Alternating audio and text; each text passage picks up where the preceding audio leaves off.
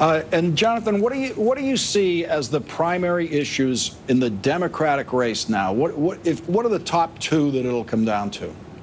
Uh, I think it's really going to be about Wall Street mostly, um, with electability as kind of the second issue. Uh, on Wall Street, Hillary is a little bit exposed because she's taken all of these speaking fees from big Wall Street firms. And I think you'll see Sanders return to that over and over again. But, uh, you know, electability right, is uh, Jonathan, we're going to go to Trump's press conference. It started an hour late. He's taking a couple of questions. Are they to be taken seriously? Are they just whining? No, look, the National Review is a dying paper. It's got its circulation's way down. Uh, not very many people read it anymore. I mean, people don't even think about the National Review. So I guess they want to get a little publicity. But no, that's a dying paper. Really, I mean, One- one of- it's pretty much. I, I got to tell you, Dave, it's pretty much of a dead paper. Mr. Trump, Mr. Trump. Yes. what do you think is going on right now in the GOP? You have that National Review piece that just came out, the Washington Post also has a piece tonight saying that the GOP is warming up to you. Are you? I think they're warming up. I, I want to be honest. Uh, I have received so many phone calls from people that you would call establishment, from people generally speaking, conservatives, Republicans, that want to come onto our team. Uh, the polls have just come out, as you saw in Iowa, where I'm up by 11 points. Another one came up where I'm up by 10 points. And you look at New Hampshire, you look at South Carolina, you look at uh, Florida, where I have 48, 48 points. I'm way up, uh, way up in every poll. So we are getting calls from everybody that it's it's actually amazing. I'm actually surprised. Mr. Trump, you Ted Cruz is very strident today. Who is? Ted Cruz is very strident. He was very strident. That he Well, has a he's a stride strident. And that you are a deal You're saying he was strident? You said. You're not supposed to have a comment. And that he and that you are a deal maker. So what are I am a deal maker, and I'm going to make deals with China, What are and I'm going to make deals. compromise with Democrats? Well, let me just explain. I am a deal maker, and that's what the country needs is a deal maker, somebody that really knows how to make deals. We've got to make our country rich again. We owe 19 trillion dollars. It's going to be 21 trillion because of the bad budget deal that they made. We need a deal maker. We need somebody that knows what they're doing. We have a bunch of politicians that have no clue, But where- and that's why I think I'm so high in all the But where polls. could you make deals with Democrats? And what issues do you think you could Well, we find can we can make deals with a lot of people and not necessarily deals. We're going to have to force some through because we're not always going to get along with the Democrats. But you know what? I watched Ronald Reagan and Tip O'Neill do a great job together. They were very different kinds of people, and yet they were able to make deals, and the country was really singing. It was doing well. And we need a little bit of that. And as you said, I mean, you said it. He's a very strident person. Nobody likes him. I mean, take a look. He's got Republican senators. He doesn't have one endorsement from one senator. Number one. Number two, wasn't born in this country. It's a big problem. It's a huge overhang. Nobody knows. Actually, nobody knows. And they're looking right now. They're trying to figure it out. Many lawyers have come out and said he can't even run for president. So he's got a problem.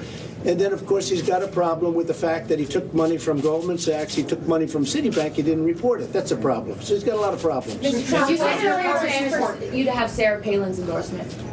Well, I, it's such an honor to get her endorsement. I've known Sarah for a long time. She called. She said, "I'd love to endorse you. What you're doing is amazing. It's a movement. I mean, you see that from the cover of Time magazine, which really was a very, very good but fair story." And Sarah Palin called, and it was just an honor. And I think Ted Cruz expected to get Sarah Palin.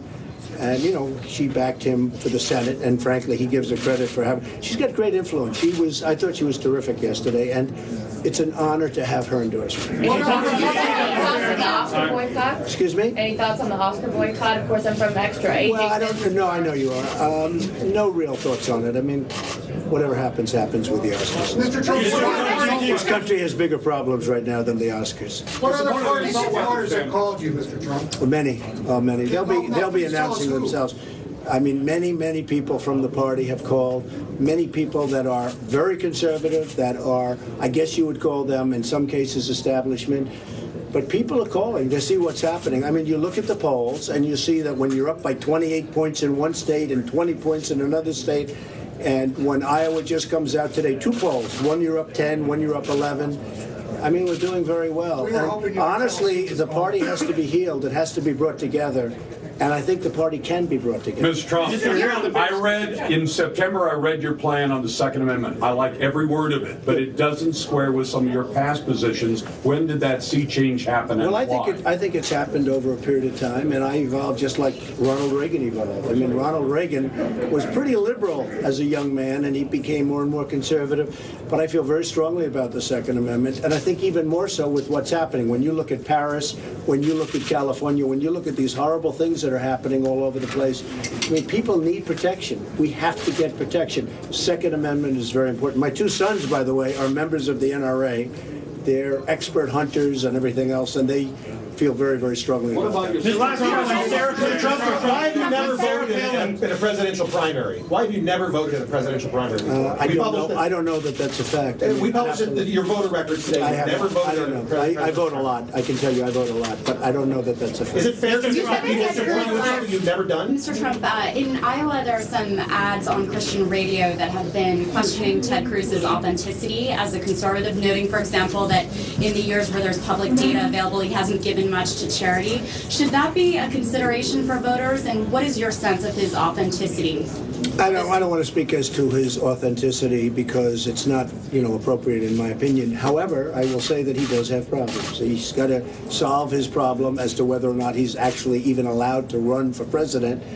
He was born in Canada. He was a citizen of Canada until 15, 15 months ago. I mean, he was a citizen of Canada.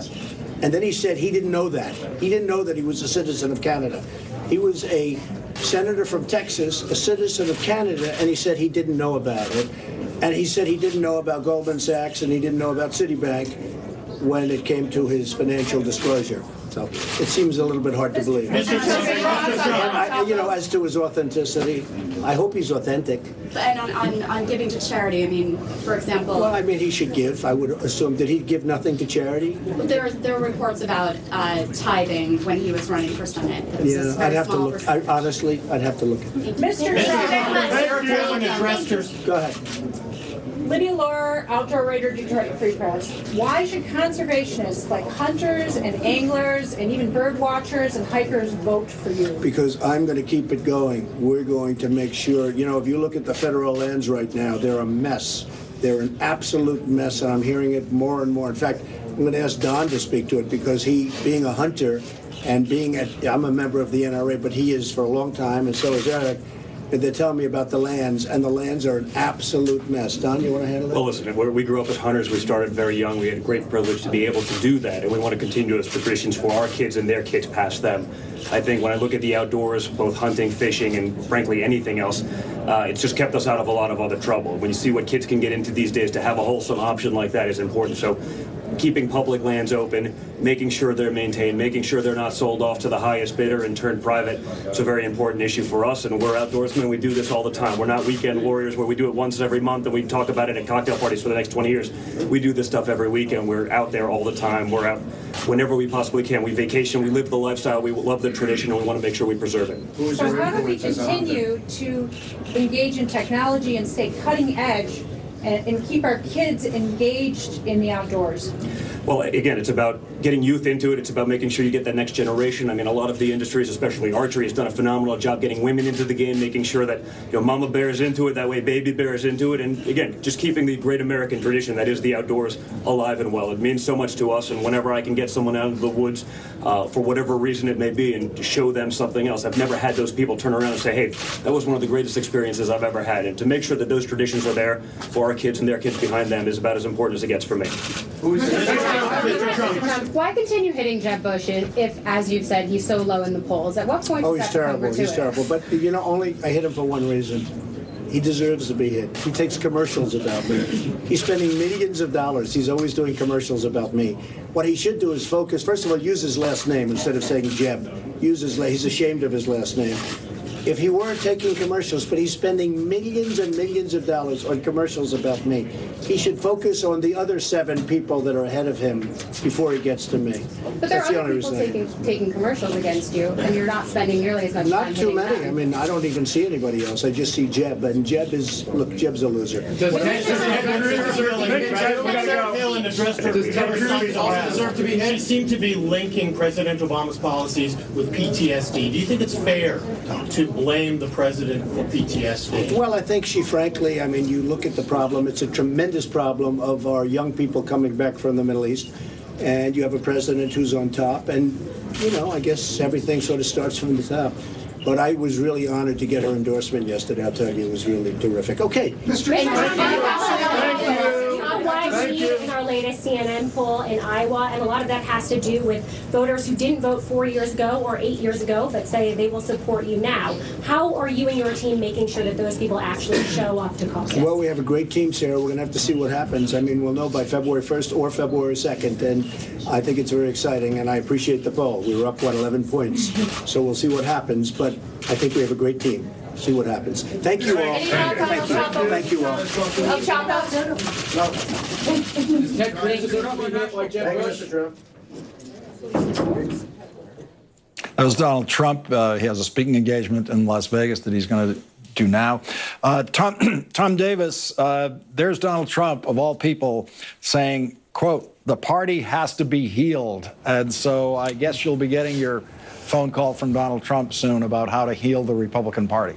You know, Lawrence, I, I've got to tell you, they didn't lay a glove on him. Uh, he did No, a they for no, speci- no specifics, uh, but he had a good bearing on this. And the average person who's sitting out there, you know, alienated at this point, uh, they they didn't lay a glove on him. Uh, Jonathan Alter, he claims that uh, many people, as he put it, many people from the party are calling him, uh, and never gives any names in that perfect Joe McCarthy style of his. Uh, and so, you know, maybe they are, maybe they aren't.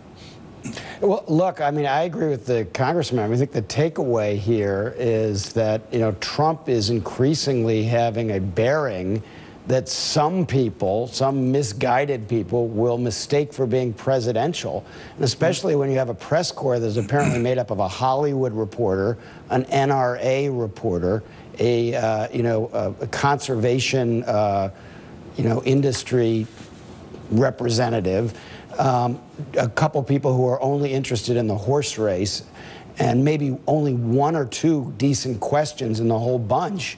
And we wonder why Trump has done so well. I, I think the press, and we've had some very good reporting, especially, uh, you know, I think from some of the dogged reporters at this network and, and a couple of the others. But by and large, the press is not doing its job in explaining to people what the stakes are in a Trump presidency, what this would actually mean if this man became president of the United States. That's the only issue. The rest of it, the back and forth, the polls, the press shouldn't be asking questions in such numbers about those kinds of horse race issues. Focus on this man as a potential president. We didn't see it tonight in that press conference, Lawrence.